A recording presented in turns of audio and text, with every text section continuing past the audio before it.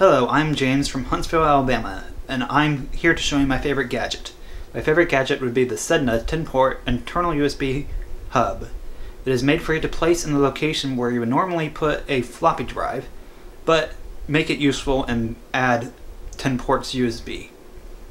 You just need to have an internal USB 2.0 port on your motherboard, which is right here, and then you just, just need a Molex connector on your power supply and you can add it in.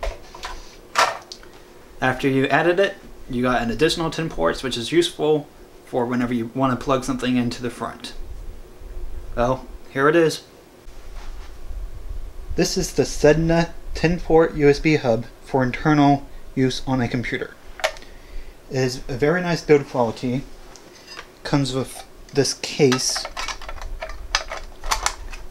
fits nicely inside of a floppy disk place inside of your case so that you can replace your floppy disk with something useful. You simply plug it into your motherboard using the cable here